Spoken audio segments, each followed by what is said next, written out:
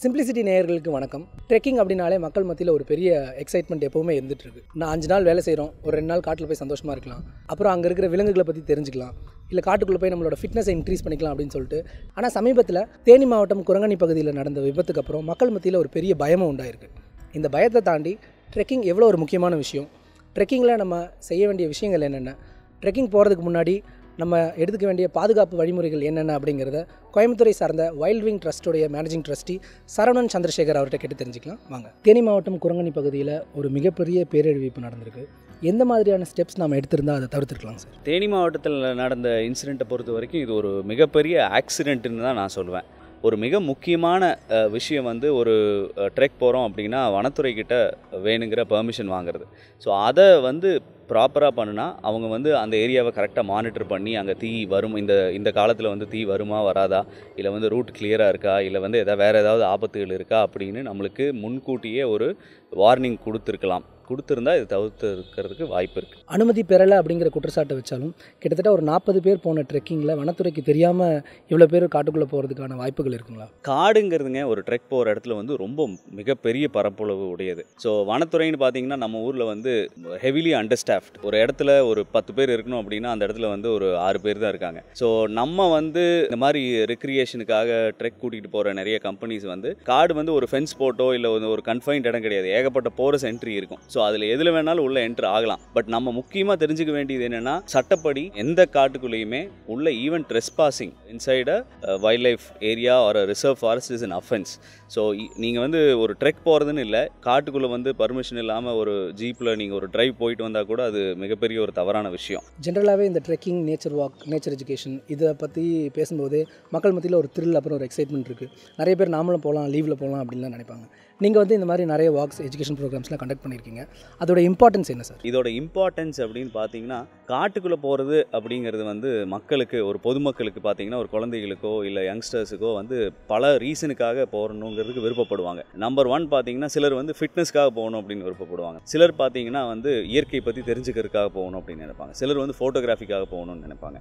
So ஒரு இயற்கையை பாதுகாக்கணும் அப்படின்னா அதை பற்றி புரிதல் மிக மிக முக்கியம். நம்ம என்னதான் வந்து காடுகளை பாதுகாக்கணும் அப்படின்னு நம்ம ஸ்கூல்லையோ ஒரு காலேஜ்லேயோ சொல்லி கொடுத்தாலும் ஒரு ஒரு சின்ன ஒரு ஆத்தோரமாக ஒரு வாக் கூட்டிகிட்டு போய் அவங்களுக்கு ஒரு ஆற்றுல எப்படி இன்னும் மீனை காமிக்கிறதோ இல்லை வந்து ஒரு ஒரு பூச்சிகள் எப்படி இருக்குது ஒரு தவளைகள் எப்படி இருக்குது அப்படின்னு நேரில் காமிக்கும்போது அவங்களுக்கு இருக்கிற புரிதல் வந்து ஒரு மிகப்பெரிய அதிகமான லெவலில் இருக்கும்.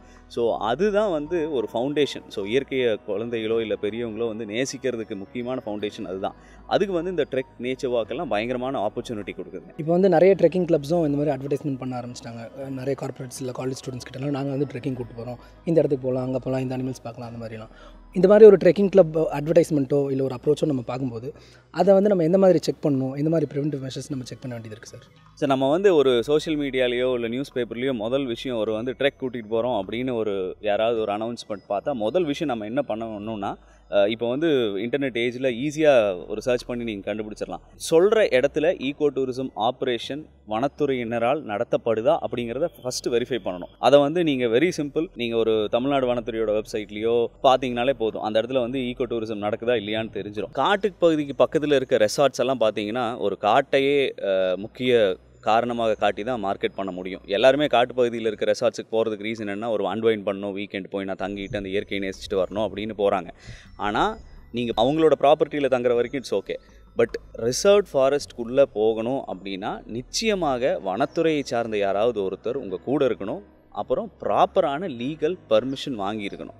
ஸோ அது இல்லைன்னா கண்டிப்பாக ஹண்ட்ரட் பர்சன்ட் எந்த ரெசார்ட் உங்களை காட்டுக்குள்ளே கூட்டிகிட்டு போகிறோம் இல்லை நாங்கள் வந்து கூட்டிகிட்டு போய் ஒரு சஃபாரி ஃபாரஸ்ட்குள்ளே கூட்டிகிட்டு போகிறோம் அப்படின்னு சொன்னாங்கன்னா தயவு செய்து அதில் பார்ட்டிசிபேட் பண்ணாதீங்க. அது வந்து முழுக்க முழுக்க ஒரு இல்லீகலான விஷயம். இன்னொரு மூணாவது விஷயம் வந்து பார்த்தீங்கன்னா வனத்துறையை சேர்ந்து ஒருத்தர் கூட கூட்டிகிட்டு போனால் கூட அந்த கன்சர்ன்ட் மாவட்ட வனத்துறை அதிகாரி டிஸ்ட்ரிக்ட் ஃபாரஸ்ட் ஆஃபீஸர் லீகலாக அந்த ட்ரெக்கை பர்மிட் பண்ணியிருந்தால் மட்டுமே நீங்கள் உள்ளே சைன் அப் பண்ணலாம் அந்த ட்ரெக்கில் ஏன்னா இப்போது நீங்கள் யார் வேணாலும் கூட்டிகிட்டு போகிறேன்னு சொல்லலாம் இல்லைங்களா?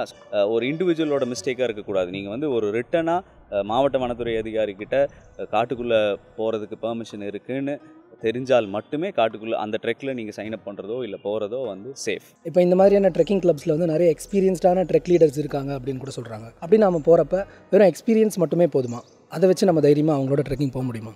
நிச்சயமாக பத்தாதுங்க. ட்ரெக்ங்கிறது வந்து காட்டுக்குள்ளே போகிறது வந்து எக்ஸ்பீரியன்ஸ் ஒரு ஒரு தடவையும் ஒரு ஒரு வித்தியாசமான இருக்கும். காடுகள் வந்து ஒரு வெறும் மரங்கள் செடிகள் மட்டும் இருக்கிற இடம் கிடையாது. ஸோ அது வந்து ஒரு பல்லுயிர் பெருக்கம் அதிகமாக இருக்கிற இடம். அந்த இடத்துல பார்த்தீங்கன்னா வனவிலங்குகள் அதிகம். காட்டு தீ வந்து இப்போ காட்டு தீ மட்டும்தான் நம்ம பார்க்குறோம் பட் இதை விட மிகவும் அபாயகரமான விஷயங்கள் நிறைய இருக்குது அதை வந்து நம்ம எவ்வளவு தான் வெளிநாட்டிலேயோ இல்லை வெளியூர்லேயோ இல்லை இமயமலையிலையோ நான் ட்ரெக் பண்ணியிருந்தாலும் அந்த லோக்கல் இஷ்யூஸ் ஸோ அந் நம்ம போகிற இடத்துல வர்ற பிரச்சனைகளை அதாவது சமாளிக்கிறதுக்கு ஆன ஸ்கில்ஸ் வந்து அந்த ஏரியாவில் அந்த இடத்த வந்து பழக்கப்பட்ட மக்களுக்கு தான் ஈஸியாக இருக்கும் ஹேண்டில் பண்ணுறதுக்கு ஸோ அதுக்காக வந்து டெஃபினட்டாக அந்த இடத்த சுற்றி இருக்கிற பழங்குடியினர் மக்கள் எல்லாத்தையும் தான் ஃபாரஸ்ட் டிபார்ட்மெண்ட்டே கைடாக இன்வால்வ் பண்ணியிருக்காங்க எங்கெங்கெல்லாம் லீகலாக ட்ரெக் நடக்குதோ அங்கெல்லாம் பார்த்தீங்கன்னா அந்த ஏரியாவை சுற்றி இருக்க பழங்குடியினர் மக்களை வந்து ஒரு கைடாக இன்வால்வ் பண்ணி எம்ப்ளாய் பண்ணி தான் ட்ரெக் குரூப்ஸ் கூட அனுப்புவாங்க. ஸோ யாராவது ஒருத்தர் நான் நிறைய இடத்துல ட்ரெக் பண்ணியிருக்கேன் எனக்கு அவ்வளோ எக்ஸ்பீரியன்ஸ் இருக்குது அப்படின்னு சொன்னால் அவங்களை மட்டும் மட்டுமே நம்பி காட்டுக்குள்ளே போகிறது மிக மிக அவ அபாயகரமானது. இப்போ இப்படி ஒரு